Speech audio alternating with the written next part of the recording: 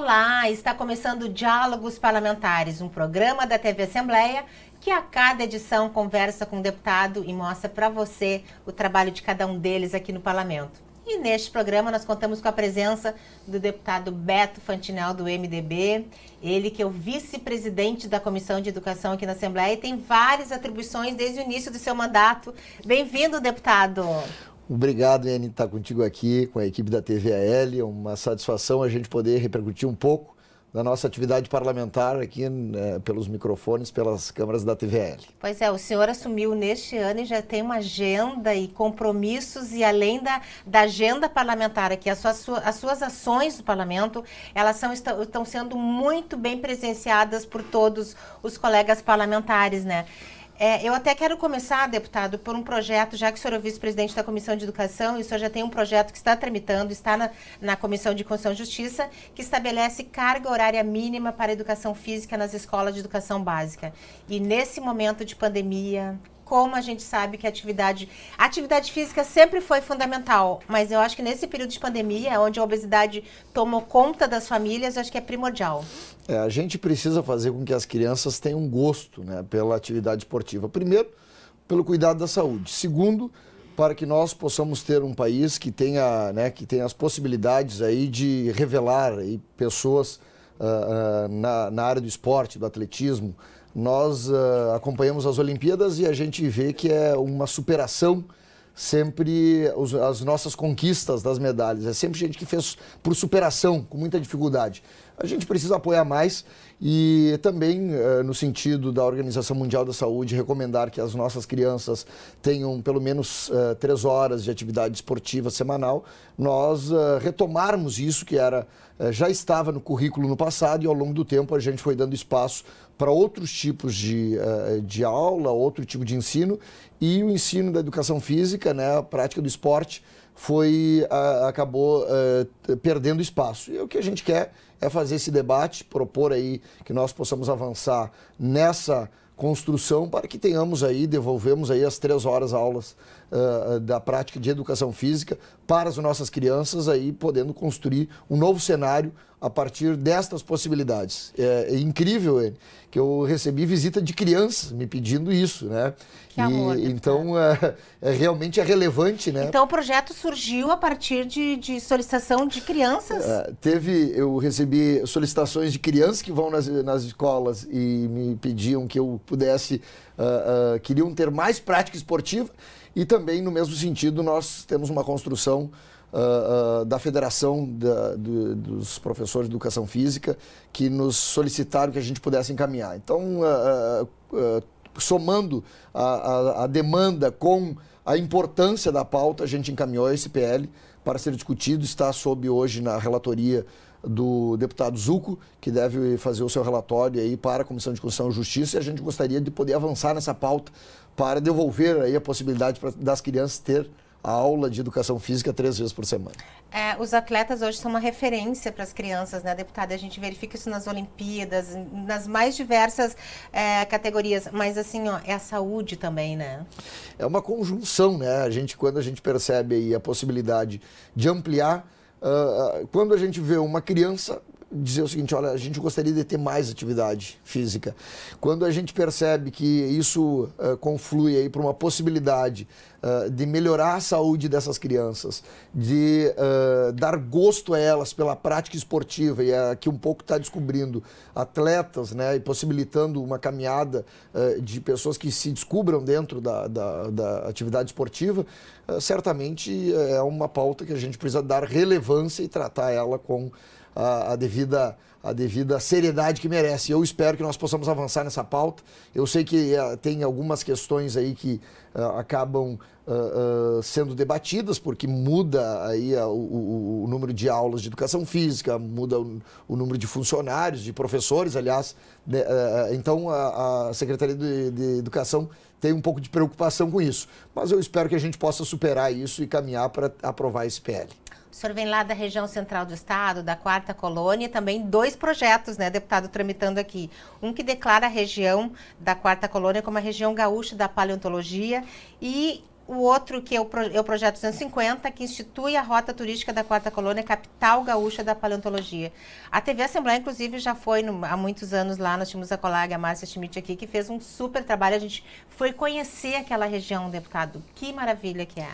É uma região, eu, eu sou oriundo da Quarta Colônia, então é pela primeira vez tem alguém nascido nessa região aqui no parlamento, né? É uma região pequena, são, são uh, nove municípios.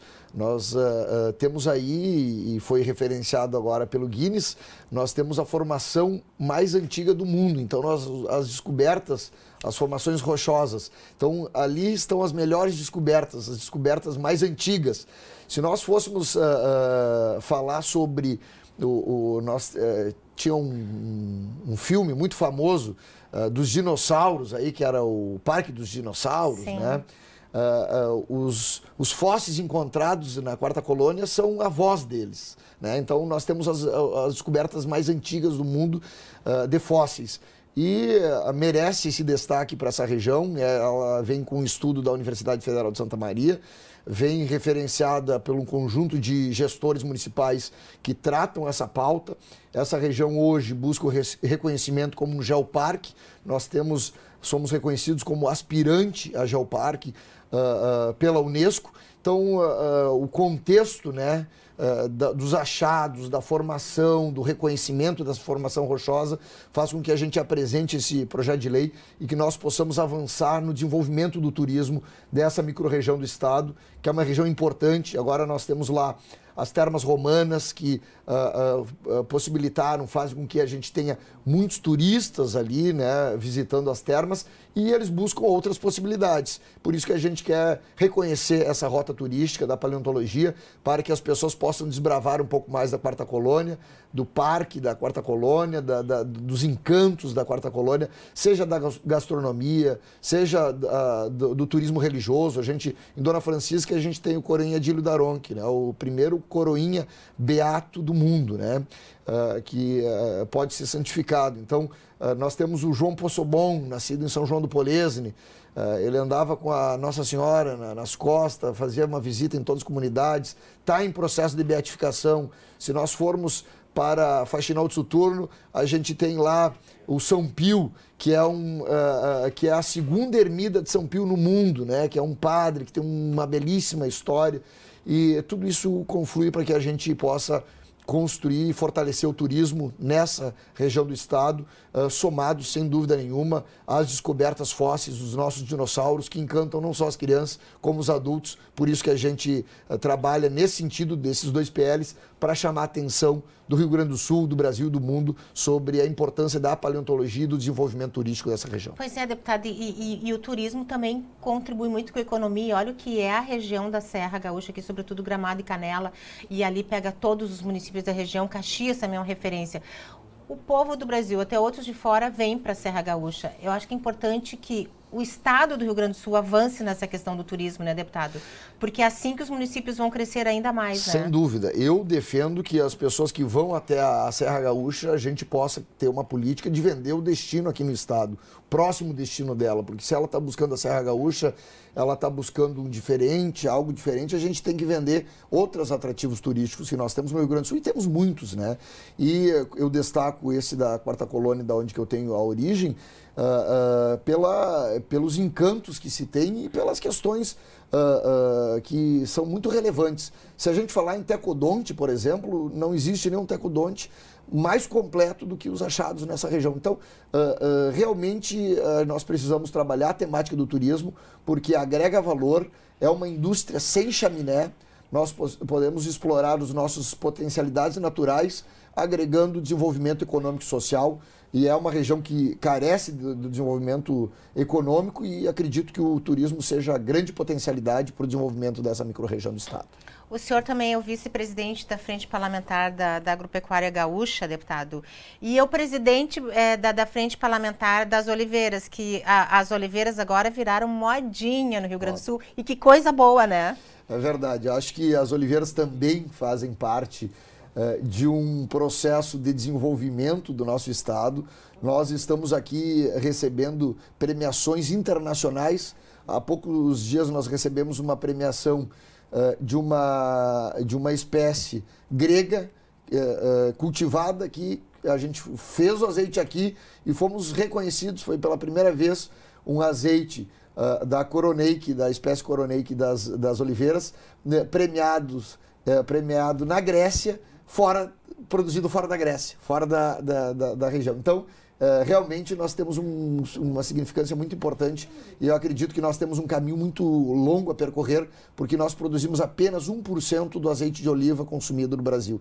Então nós temos ainda um avanço muito grande. São mais de 6 mil hectares hoje cultivados uh, de olivais no Rio Grande do Sul. Uh, nós estamos estimulando, teremos agora uma reunião uh, para uh, buscar os gargalos da cadeia produtiva, para que a gente possa facilitar o financiamento, que a gente possa facilitar a certificação e que nós possamos incentivar a produção de oliveiras, de olivais uh, no Rio Grande do Sul, como agregação de renda para as, as propriedades. Nós temos aqui uma possibilidade muito concreta, assim como os, a, a, produção da uva, né, dos parreirais, a produção dos olivais ele está intimamente também consorciado com o turismo. Eu visitei alguns lugares que se tem a exploração uh, da produção das oliveiras, da, da, da, das azeitonas, a produção do azeite uh, convergindo com o turismo. Né? Então, isso também é, é, importante a gente destacar e eu tenho convicção que a produção uh, das oliveiras no Rio Grande do Sul vai tomar uma proporção muito maior e que bom que virou uma moda e que as pessoas uh, se entusiasmem para produzir, porque isso vai dar retorno econômico, retorno de melhorias para uh, as regiões aí que têm potencialidade de desenvolvimento das oliveiras. Tem a rota dos, das oliveiras e, elas, e, e, as oliveiras estão distribuídas, produções em várias regiões do estado, até na fronteira oeste de São Borja, né, na fronteira, e, e na fronteira, que é especialmente um espaço que a gente precisa aproveitar as áreas, elas uh, se adaptaram muito bem, desenvolvem muito bem e ajudam a agregar valor à produção uh, desse espaço que é subdesenvolvido. Uh, né? Nós temos uma metade do Rio Grande que ainda tem dificuldade no desenvolvimento e as oliveiras estão sendo uma, uma das potencialidades. Eu acredito muito nessa na, no cultivo das oliveiras porque elas agregam valor à, à propriedade, agregam valor ao ambiente, dá para ser consorciado com o turismo. Eu tenho convicção que nós uh, faremos uma boa caminhada com as oliveiras no estado do Rio Grande do Sul e uh, cada vez mais nos tornando referência, né? Porque nós produzimos uh, no Rio Grande do Sul e principalmente é, Rio Grande do Sul, Minas Gerais um pouco de São Paulo, que elas se adaptaram melhor e que a nossa produção possa suprir aí as necessidades do nosso Brasil afora. Eu tenho ido nos restaurantes e tenho cobrado uh, que o azeite o seja o azeite gaúcho. E o extra virgem, né, deputado? O extra virgem, o extra né? virgem que é... que é o que é o, o, o, nosso top aqui, que ele tem uma qualidade, tem um sabor. Então é importante a gente destacar isso, incentivar que as pessoas possam consumir o azeite uh, gaúcho pela qualidade, né? Uh, tem uma série de propriedades. O azeite quanto menos tempo Uh, uh, uh, quanto menos tempo entre a produção e consumo é melhor, quanto menos tempo em contato com o oxigênio ele é melhor, Uh, uh, quanto mais perto de onde ele é produzido, ele é melhor, é mais saboroso, tem, uh, sofre menos degradação no seu sabor, na sua, na sua qualidade, por isso que a gente tem que chamar atenção e fazer propaganda para o nosso azeite gaúcho. E ele demora, deputado, o período de, de produção dele, de crescimento, tudo da, da, das próprias oliveiras, é bem demorado esse processo, a, né? As oliveiras, elas, para atingir escala comercial, é a partir do quinto ano, né? Então, as pessoas, por isso que é, nós temos vários gargalos para superar. A gente pode dizer o seguinte, vamos diversificar do plantio do tabaco para as oliveiras. O tabaco, tu planta ele em setembro, agosto, setembro, em dezembro tu está colhendo, em, em, março tu está com dinheiro, né? As oliveiras tu, ah, tu tem que plantar elas, uh, ter uma série de cuidados para depois de cinco anos a gente ter aí uh, uma escala comercial de produção para se produzir o azeite ou se produzir aí ela comercial, comercialmente e ter agregado valor e agregar valor à, à propriedade. E, e, e, na questão econômica, com relação ao valor, hoje o azeite fabricado aqui no Rio Grande do Sul, inclusive, ele tem um preço superior aos demais, inclusive a muitos importados que estão aqui, não é, deputado? Sem dúvida. E eu faço um alerta. Os importados, eles muitas vezes, eles perdem a qualidade, né? Nós estamos trabalhando aqui também para que nós possamos apresentar uma legislação discutindo a possibilidade de obrigar que os azeites tenham um ano do seu, da sua produção, né? porque quanto mais novo, melhor. Uh, os azeites uh, que vêm de fora, muitas vezes, eles são uh, batizados. Nós tivemos várias operações, né? Há poucos dias aí foi deflagrado uma operação muito grande na fronteira de azeites que vêm misturados com azeite de, de soja. Então, na verdade, o, o, que eu posso dizer é que o azeite gaúcho ele tem, ele é certificado, ele é bem produzido, ele tem qualidade e propriedade que é bom para a saúde das pessoas usem o azeite gaúcho. E o, o, a questão do valor dele também é porque nós chegamos no mês de dezembro e quase a gente não tem mais azeite gaúcho, porque a produção ainda ela é insuficiente pela demanda que a gente tem no Estado. Por isso que a gente incentiva também que tenha maior produção e que nós possamos suprir o mercado, uh, não só gaúcho, mas o mercado externo brasileiro. Tomara que seja uma referência, né, deputado? Exatamente. Inclusive de exportação, por que não, né? Exatamente. Não? Né? Nós possamos suprir as questões internas e também externas do nosso... Exatamente. Bom, como o nosso programa é curto, eu tenho que ir meio que atropelando os seus projetos, deputado. São todos muito importantes que estão tramitando, mas eu quero ir agora para o seu projeto 252, que também está na CCJ, né? Todos estão na CCJ tramitando. Esse é o que veda as instituições financeiras correspondentes é, bancários e sociedade de arrendamento mercantil de celebrar contratos de empréstimo de qualquer natureza que não tenham sido expressamente solicitados pelos beneficiários e aposentados. Bom, esse, esses aqui já tem dois tramitando, um inclusive era do deputado Vilmar Lourenço, e é um problema muito sério, deputado. Uns já tinha um projeto de 2008 do deputado Alceu Moreira, hoje uhum. deputado federal, que proibia o telemarketing marketing no, no Estado. Hoje, um, este ano, um projeto do deputado, in, inclusive com apoio de vários colegas do Elton Weber, é, ele melhorou, melhorou esse projeto, deputado, porque antes era só para as ligações, hoje são WhatsApp, e-mail e tantos os outros meios que a gente tem, né? É muito preocupante, deputado. E às vezes eu, eu digo assim, a gente só vive para atender telefone, para atender é só essas chamadas assim inconvenientes. E é, só telemarketing. É verdade. É, seja no telemarketing ou seja na vigarice, né, que uh, algumas instituições ajudam a implementar. E hoje o aposentado ele é assaltado, porque uh, eu digo assaltado porque alguém vai lá, faz um empréstimo, né? E aí é o aposentado que tem que provar que ele não, não solicitou esse consignado. E o que nós estamos propondo é que a instituição, se não conseguir provar, né, se não foi o, o pensionista, o aposentado que solicitou, se ela não conseguir provar, ela vai ter que arcar com esses custos. Não, é, não podemos fazer com que a gente uh, uh, faça da vida daqueles que contribuíram com, ao longo da sua vida, né, para ter a sua previdência, a sua aposentadoria, a vida dessas pessoas virem né, praticamente um inferno, porque uh, os vigaristas, os, os criminosos fazem consignados ou alguém outro, né, que está em volta aí da pessoa acaba fazendo e uh, depois o, a instituição, né, bancária diz, olha, uh, pois é, foi feito. Não, não, a instituição vai ter que dizer quem fez, como é que fez, onde que está assinado e vai ter que comprovar que não, que, que, que foi a, realmente a pessoa que solicitou. Nós não podemos uh, fazer com que essas situações façam da vida daqueles, daquelas pessoas que ao longo do tempo contribuíram para ter o direito à sua previdência, né, um, um, verdadeiro pesadelo. É nesse sentido que a gente propõe esse PL. Ele foi aprovado uh, no estado de Santa Catarina, está sendo implementado e a gente buscou uh, um modelo semelhante ao de Santa Catarina para que nós possamos também uh, aí pôr as instituições aí bancárias né, no compromisso de ter mais seriedade e coerência eh, na prática do oferecimento e do contrato também uh, dos consignados. Pois é, a tecnologia veio para ajudar, né, deputado, mas tem o outro lado, né? Inclusive, estão sempre, os criminosos estão sempre buscando e inovando, né, deputado? Eu, eu, fui já vítima duas vezes de utilização do meu cartão de crédito, né? Então, uh, uh, a gente sempre toma todos os cuidados e a gente que é um pouco mais jovem acha que tem um pouco mais de conhecimento né, na tecnologia e a gente acaba uh, sendo vítima também. Imagina essas pessoas que uh, né, já, a tecnologia já nasceu quando ela já tinha uma idade um pouco mais avançada, então uh, também sofrem muito com isso. Por isso que é importante a gente proteger essas pessoas desses malfeitores. Deputado, outro projeto estabelece o fornecimento de dispositivo para rastreamento da localização de integrantes do Corpo de, Bande... do, do Corpo de Bombeiros Militar aqui do Estado. Como que é esse projeto?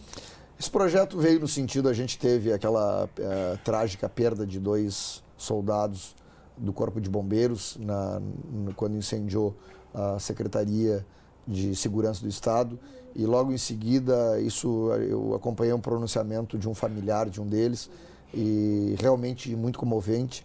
É, eu busquei o protocolo, protocolar esse projeto de lei para poder discutir também com uh, o Corpo de Bombeiros, com uh, a área técnica, para ver a melhor forma possível da gente uh, chipar aí, né, ou o capacete, ou o colete, e poder fazer, ter um controle dos espaços onde eh, esses eh, esses servidores, essas pessoas, os bombeiros, estão atuando, até porque isso pode colaborar para que eh, em algum momento né, de, um, de, um combate ao incêndio uh, possa ser feito esse monitoramento e, e ser feita comunicação mostrando que eles podem estar num, num, local de risco acentuado ou dando orientações. Então a gente quer, com esse PL, discutir com uh, uh, o Corpo de Bombeiros, já tive uma reunião com o comandante do Corpo de Bombeiros, discutir com a área técnica para que nós possamos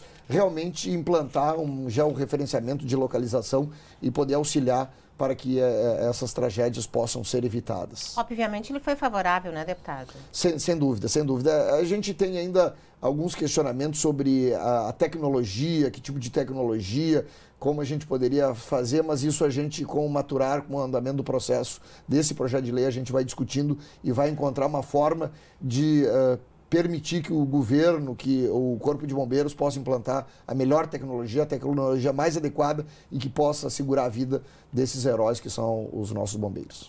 O, o senhor atua aqui em, é, em, em, várias frentes, a gente já falou da, da agropecuária, uma das suas bandeiras também, a, a, saúde, a juventude, a educação, tanto que o senhor é vice-presidente da Comissão de Educação, mas o senhor defende muito a valorização da pesquisa científica, aqui no, no nosso estado, sobretudo, né, deputado? Eni, eu tenho uma preocupação com a situação da nossa pesquisa no estado do Rio Grande do Sul e no Brasil. Uh, quando eu vejo manifestações uh, que agridem uh, a pesquisa, eu, e eu vejo apoio de parte da sociedade, me preocupa que falta um pouco de comunicação uh, da importância que tem a pesquisa para a vida das pessoas. E eu digo isso porque a pesquisa é quem descobre uma nova medicação, um novo tratamento do câncer, uma vacina para o combate ao Covid. É, tudo isso vem a partir da pesquisa científica. E nós temos algumas situações que me incomodam um pouco aqui no Estado. Primeiro que nós não cumprimos aí com o nosso percentual de 1% de apoio à pesquisa, né, à ciência, tecnologia, à inovação no Estado do Rio Grande do Sul, que é uma realidade e a gente não está deslocado, a realidade orçamentária do Estado é difícil, então a gente, até um certo ponto, tem uma compreensão sobre isso. Mas nós também uh, aplicamos os recursos da ciência e da tecnologia sem um foco, então a gente dispersa um pouco do dinheiro e não consegue ter um destaque na pesquisa científica. Eu, uh, agora falando na, na questão da agropecuária, nós somos um Estado essencialmente agrícola. Será que nós não deveríamos uh, uh, discutir uh, o Estado, o FAPERS, para que nós, uma parte, uma percentual desses recursos sejam garantidos anualmente para o desenvolvimento da pesquisa do setor primário, para que nós possamos nos tornarmos um case de pesquisa do setor primário, avançarmos e ajudarmos a produção primária no Estado e que as nossas, a nossa inovação sirva para desenvolver o, o, o agro uh, gaúcho é uma questão que a gente precisa discutir. E infelizmente a gente vive, não vive um bom momento, porque existe um ataque, na, na, na principalmente área, na área da pesquisa, que se acha que isso é uma coisa supérflua. Não existe progresso da humanidade sem a pesquisa, sem o conhecimento. A pesquisa é a janela do conhecimento. Então nós precisamos incentivar a pesquisa, pormos foco em alguns setores, desenvolvermos. Eu mais gost, eu também gostaríamos, eu gostaria e até vou, vou propor isso para o Estado que nós pudéssemos.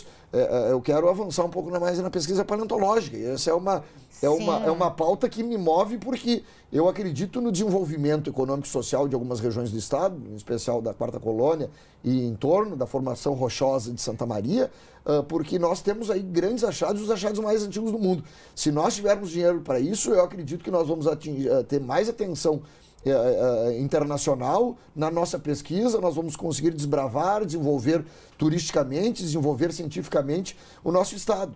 Mas são questões de ponto de vista. Nós precisamos ter uma estratégia para o desenvolvimento da ciência no Estado do Rio Grande do Sul e que nós possamos com, a, a, né, dar voz a esse processo de desmantelamento, né, de combate ao desmantelamento da pesquisa no Brasil, porque falta dinheiro em algum lugar, tira da pesquisa. Não, a pesquisa ela é saúde, a pesquisa é vida, a pesquisa é qualidade de vida, a pesquisa é desenvolvimento da humanidade e nós precisamos defender que nós tenhamos mais recursos para pesquisa e dessa forma a gente poder desenvolver a nossa sociedade dando, ah, seja numa medicação melhor, seja num uh, equipamento que vai, vai, produzir mais, né, vai uh, tornar mais eficiente a colheita, seja num defensivo que vai fazer com que nós tenhamos né, um aumento de produção. Enfim, né, eu tenho visitado empreendimentos uh, que investem na ciência, na tecnologia, na inovação, que dá gosto de ver. E ainda bem que o setor privado tem avançado nessa pauta, porque ao longo do tempo nós temos estamos tirando recursos, principalmente das universidades federais, que é quem até então mais investia nisso, porque uh, fazer pesquisa custa caro, e se não for induzido pelo setor, uh, setor público, até pouco tempo atrás o privado tinha uma dificuldade. Hoje a gente já vê um avanço do setor privado, porque está sendo mais ágil, mais rápido e mais rentável também o processo científico, pela agilidade que se tem. Mas até há pouco tempo a gente só via isso nas universidades públicas e ainda sob ataque de parte da sociedade, que parte de alguns setores que atacam a pesquisa científica como se fosse algo supérfluo, algo que a gente pudesse desprezar perante a nossa sociedade. É o conhecimento, né, deputado, que foi partidarizado, infelizmente, né? Infelizmente. No Brasil, todas as pautas hoje foram partidarizadas. É, hoje mesmo eu falei sobre a questão das máscaras para as crianças de 3 anos de idade. Eu falei, isso já está virando uma questão ideológica partidária. E não é possível que a gente partidarize Como foi tudo. a doença, a Covid a doença. E, as, e, a vacina. Infelizmente, o cenário político brasileiro é de extremo radicalismo, é um radicalismo que cega as partes e faz desaparecer o bom senso do processo. Eu ainda prefiro o caminho do diálogo, do centro, do bom senso, da construção coletiva e do possível. Eu aprendi muito aqui nesse tempo no parlamento. Uh, a gente almeja alguma, uma, um cenário X, mas a gente no final vê que é possível a gente construir um cenário Y. E esta é a arte do possível, do coletivo, da diversidade que permite que a gente possa avançar, talvez não com o nosso com a agilidade que a gente gostaria pela, pelo nosso ponto de vista, mas pelo possível do que entende a sociedade. E o parlamento é a representação da sociedade, aqui é a casa da convergência, do diálogo e da construção coletiva. Sempre que a gente construir coletivamente ao centro, buscando diver, a, a, a, os processos diversos para um caminho uh, central, a gente vai conseguir avançar. Sempre que a gente manter esse diálogo no radicalismo, a gente vai, vai fazer apenas debates, conversas e nós não vamos fazer progresso, desenvolvimento, que é o que nos move aqui nesse parlamento. Nós temos só um minutinho de programa ainda, deputado, mas eu quero falar que o senhor foi escolhido recentemente o relator da Comissão Especial da Indústria, né, deputado? O senhor estava falando do público e privado aí, o senhor tem uma missão é, muito importante por 120 dias de, inclusive, elaborar o relatório final das, do, do, de todo o trabalho que será realizado pelo, pelos senhores. Eu estou muito feliz em receber essa missão. Uh, recebi a pedido de colegas, então isso nos uh, impõe uma responsabilidade muito maior e a gente pretende aí construir uh, uma, um, indicativos, uh, um processo de construção de uma política pública de industrialização do estado do Rio Grande do Sul. Nós temos o setor primário muito forte, a gente precisa industrializar, nós temos regiões altamente produtivas no setor primário, mas que não, não conseguem industrializar a sua produção primária. Então nós precisamos ouvir dialogar, construir, conhecer cases que deram certo e buscar tentar implementar uma nova política pública do desenvolvimento da indústria no estado do Rio Grande do Sul, fazendo com que o estado seja menos burocrático e que possa auxiliar o desenvolvimento e o apoio à indústria no Rio Grande do Sul. Deputado, muito obrigada. Foi rapidinho, mas falamos dos seus projetos que estão tramitando aqui. Foi que honra tê-la aqui. Foi muito rápido, mas muito agradável. Eu agradeço a oportunidade e quero dizer que uh, o que me move é a construção de um Rio Grande do Sul que dê mais oportunidade para as pessoas, com menos desigualdade e dessa forma a gente construir um Rio Grande melhor para todos. Muito obrigada, deputada. E a você, obrigada pela companhia e até o próximo encontro.